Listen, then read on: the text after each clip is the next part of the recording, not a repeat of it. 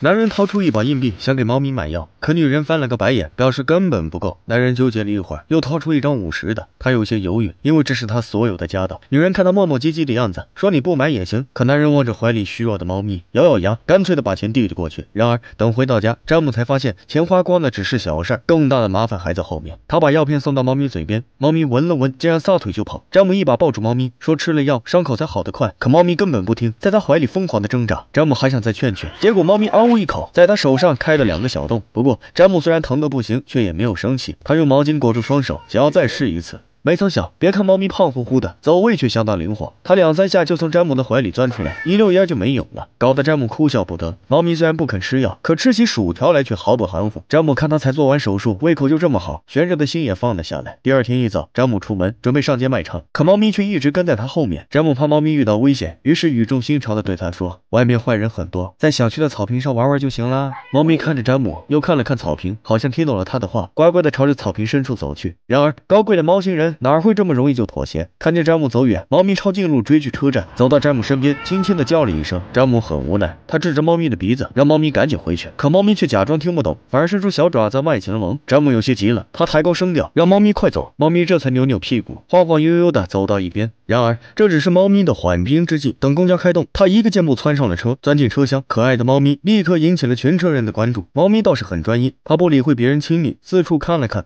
发现詹姆不在一层。猫咪很快又找到楼梯，爬上二层，直接跳进了詹姆的怀里。詹姆被猫咪逗乐了，也不再生气，反而把猫咪放在窗台上，让它能更好的欣赏市区的景色。怕猫咪走丢，詹姆取下鞋带，做出简易的绳子拴在猫咪脖子上。然而刚下车，猫咪就像一只脱缰的野狗，直接窜了出去，一会儿闻闻下水道，一会儿又想去店里逛逛。詹姆追在后面，累得跟个狗一样。过了一会儿，詹姆实在是跑不动了，趁猫咪喘气的功夫，他恳求猫咪让它待在自己肩上，不要再乱跑。猫咪也有点累，于是乖乖的跳了上去，站着不动。后面这段路，猫咪成了全场瞩目的焦点，回头率高达百分之九十九点九九九。大家从没见过这么酷炫的猫，居然能骑着人逛街，于是纷纷上前要求合影。猫咪也很配合，不管来的是男是女，都一概不拒。詹姆乐坏了，他根本没想到猫咪在市中心居然有这么强的吸引力。更惊喜的还在后面。詹姆演出时，猫咪没有乱跑，而是乖乖的坐在一旁，为他招揽着生意。很快，詹姆面前就围满观众，打赏的人更是络绎不绝，就为了能在给钱的时候趁机摸一下小猫咪。袋子里的钱越堆越多，看得詹姆心花怒放。收摊的时候，詹姆和猫咪击掌庆祝。他数了数，今天挣的钱比他过去一个月挣的还多。有了钱，当然得先犒劳一下肚子。詹姆在超市买了很多吃的，其中大部分都是给猫咪的罐头。